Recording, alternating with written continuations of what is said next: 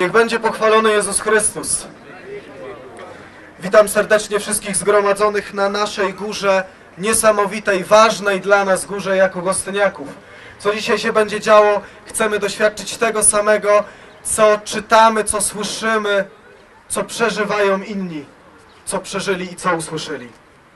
A pierwszego dnia po szabacie, wczesnym rankiem, gdy jeszcze było ciemno, Maria Magdalena udała się do grobu i zobaczyła kamień odsunięty od grobu.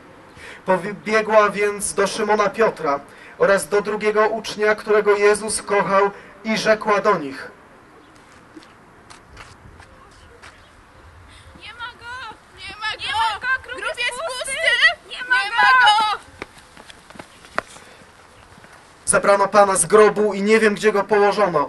Wyszedł wy- więc Piotr i ów drugi uczeń. Szli do grobu. Biegli oni obydwaj razem. Biegli do grobu. Biegli, by zobaczyć, czy grób jest pusty. Biegli, by zobaczyć, czy wiara ma sens. Biegli, by zobaczyć, czy argumenty na ich życie się spełniają. Biegli, by zobaczyć ten dystans w swoim życiu między jedną a drugą górą, między śmiercią a zmartwychwstaniem.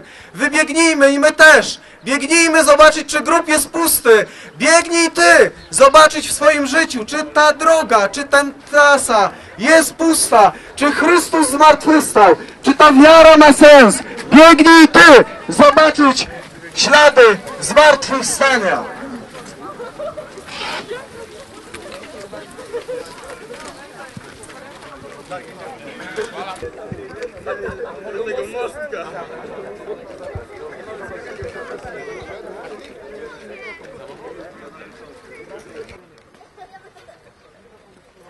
Tak naprawdę po to, by przeżyć coś niesamowitego. Dlaczego? Możemy o, wielu rzeczach słyszeć, możemy o wielu rzeczach mówić, ale jeżeli ich sami nie doświadczymy, nie przeżyjemy, nie stają się nasze.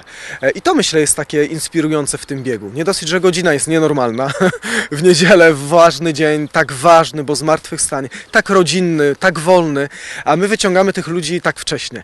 Bo oni sami chcą czegoś przeżyć, coś doświadczyć, chcą sprawdzić siebie może, e, ale na pewno jest to dla wielu pytanie bardzo ważne. E, Czy to przeżycie, które mieli apostołowie i tak ich zmieniło, i Piotra i Jana, zmieni też i mnie? To myślę jest sens e, tego biegu i tej godziny. Mamy doświadczenie, że z roku na rok jest coraz więcej, pomimo tego, że wiemy, że w tym roku na przykład w dwóch gostyńskich parafiach jest rezurekcja, czyli rano jest msza, jest, je, jest to doświadczenie, które było od zawsze, że kobiety przyszły do grobu, a my idziemy z tą radością za Najświętszym Sakramentem, to jednak pomimo tego widzimy, że z roku na rok jest coraz więcej uczestników. Zaczynaliśmy od pierwszy bieg 100 osób, drugi bieg 200, trzeci bieg 300, teraz mamy 400 medali. Ile będzie? Zobaczymy na mecie. Podziwiam. Chociaż wstać tak wcześnie rano o piątej już trzeba było, żeby na rezurekcję się przygotować, ale to jest chyba jeszcze większy wyczyn. Gratuluję.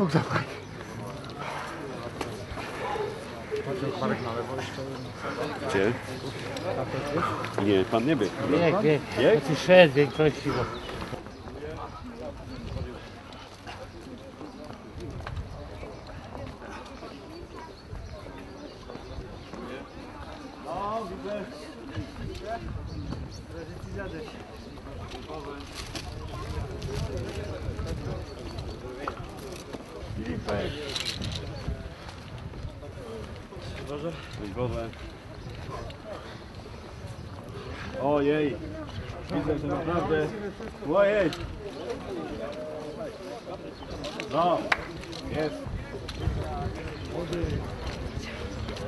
Ile masz lat?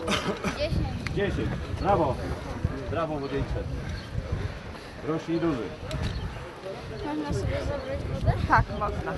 Tam chłopacy dają.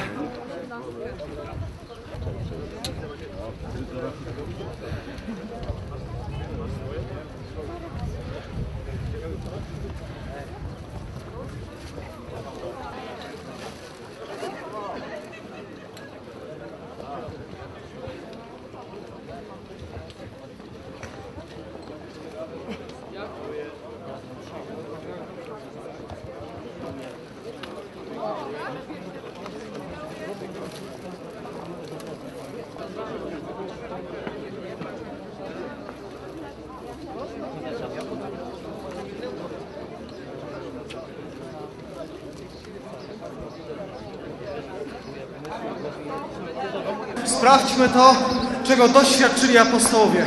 Chodźcie do naszej mety, do grobu i zobaczmy, czy jest pusty.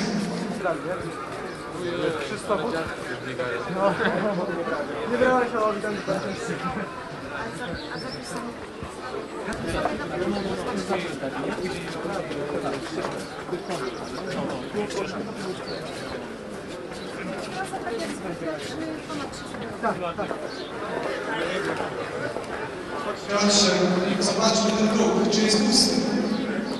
Chodźcie, wejdźmy.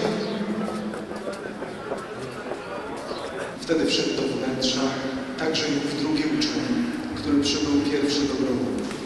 Ujrzał i uwierzył. Dotąd bowiem nie rozumieli jeszcze pisma, które mówi, że on ma powstać z martwych.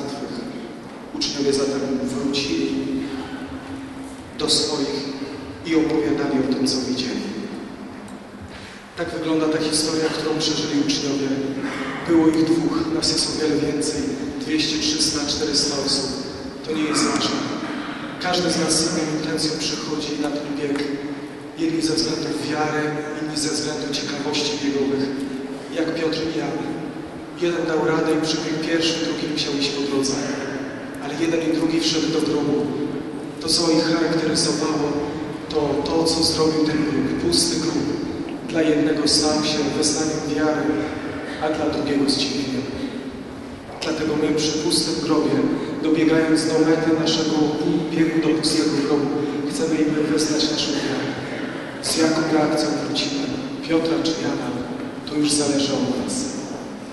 Wierzę w jednego Boga, Ojca Wszechmogącego, Stworzyciela nieba i ziemi i w Jezusa Chrystusa, Syna